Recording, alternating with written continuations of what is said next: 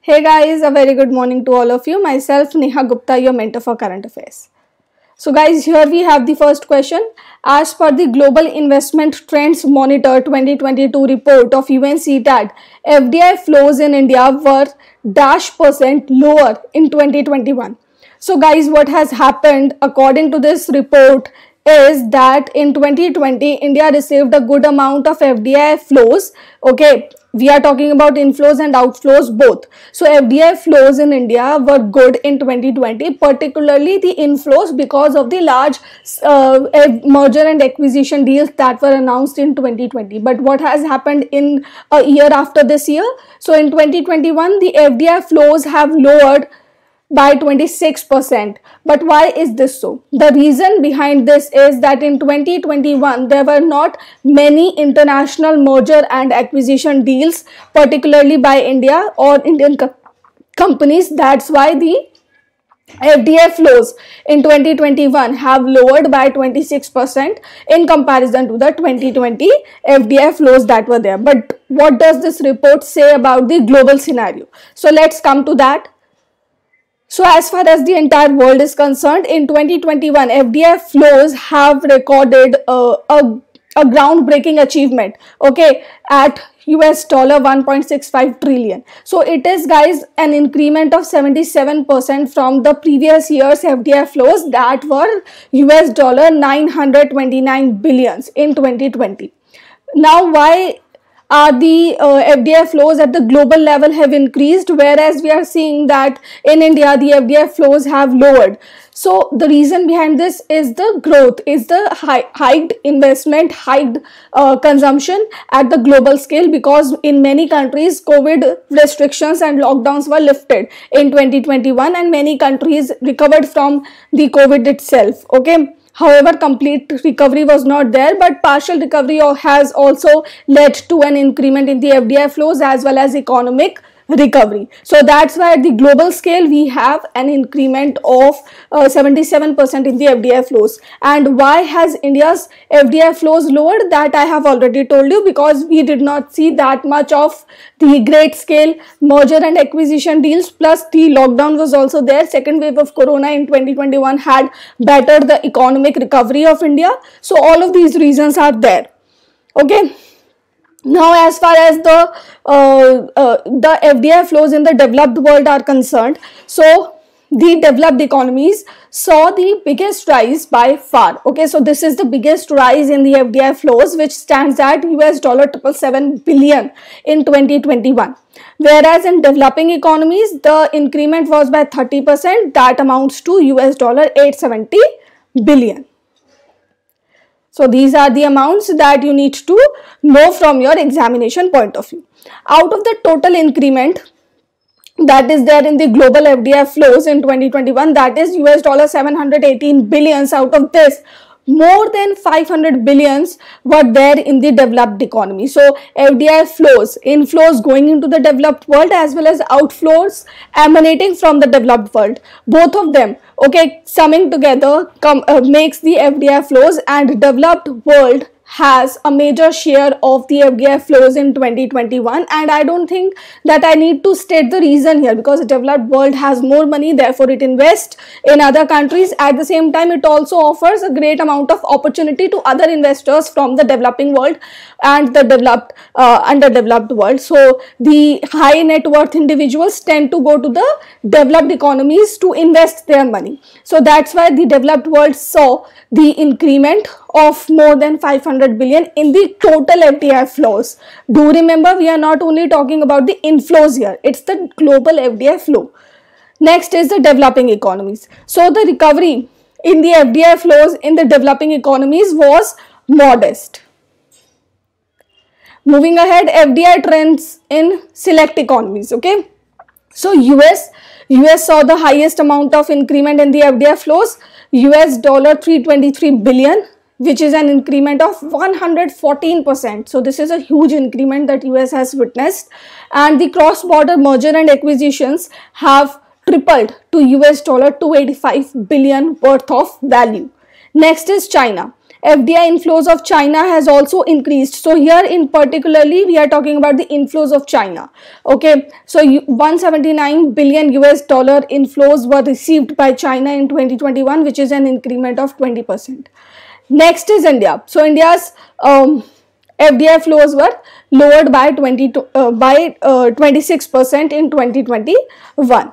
Next is South Asia. So FDI flows decreased by 24% to 54 billion US dollar in 2021 from 71 billion in 2020. So in overall region, in the South Asian region, the FDI flows have decreased in 2021. Okay guys, that was the report. Now let's move on to the next question which country has organized the 4th Asia Ministerial Conference on Tiger Conservation in partnership with Global Tiger Forum? So here the right answer is option D, Malaysia. Now guys, this is the fourth edition of this Asia Ministerial Conference on Tiger Conservation. India is one of the leading uh, founders of the Global Tiger Forum. Do remember this thing and you also must be aware of this fact that India has already achieved the target of doubling the population of tigers in uh, tigers before 2022 so the target year of doubling the uh, population of tigers was 2022 and india has achieved that way ahead of its target year. Okay so that was something that was highlighted by bhupendra yadav the minister of environment in india. Okay the most important statement here is this. The global tiger summit is going to be held uh, is going to be hosted by Vladivostok, Russia, Russia in Vladivostok later this year. So this year only this summit is going to be held and in 2018 India achieved the target of doubling the population of tigers. So here my question for you all is can you guys tell me what is the population of tigers at present the number I am asking you. So do mention it in the comment section below particularly because uh, this convention this conference is there in the news therefore they can very well ask you the number of tigers in India at present. So do mention it in the comment section. Now the budgetary allocation. So do remember in 2022 300 crores have been allocated for the tiger conservation and uh, you can clearly see the increment in the budget. This highlights the significance we are attaching to the conservation of tigers so from 185 crores in 2014 the amount has increased to rupees 300 crores in 2022 now 14 tiger reserves have already been awarded with this international CATS accreditation that is given for tiger conservation. So already these many tiger reserves are under this accreditation and many more are, uh, are just putting their efforts to get this accreditation. Okay. So that was all about this conference. Let's move on to the next question. Which country has launched the my app 2022 app for daily monitoring of covid cases. So here guys the relation to this application is with olympics. So here the answer is china.